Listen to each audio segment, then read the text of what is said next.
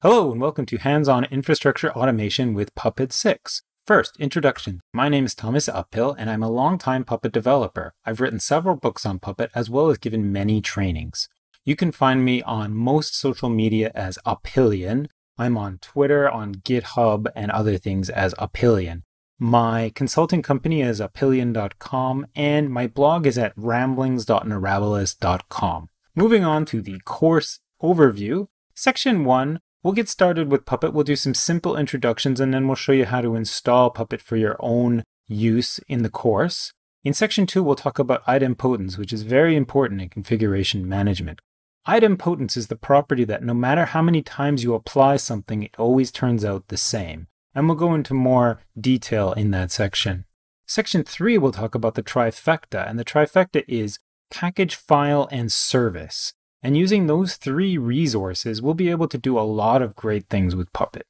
In section four, we'll talk about modules and the Puppet Forge, and that is a place where community modules can be downloaded and used. Section five is where we install a website using modules from the Forge. And in section six, we address extending Puppet. We'll create custom facts that we can use as variables throughout our code, We'll look at custom types and providers and a way to define new types of resources for Puppet. Finally, we look at defined types and functions. And in the last section, section 7, we'll talk about Puppet Lookup, and that was formerly known as Hiera. Lookup is a very interesting component of the Puppet ecosystem. It is a way of separating code from data. Lookup is a system of assigning parameter values using facts. Mastering lookup can greatly improve the readability of your code as well as make it more, far more succinct.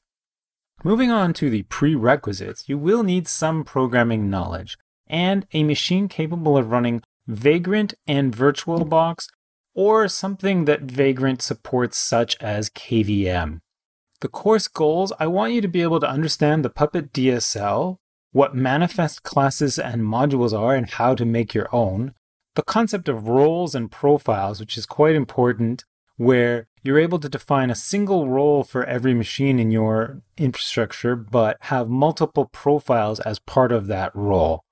And not to fear configuration management. A lot of people think that configuration management is quite a big and scary thing, and it's really not that bad. And last of all, have fun. So let's get started.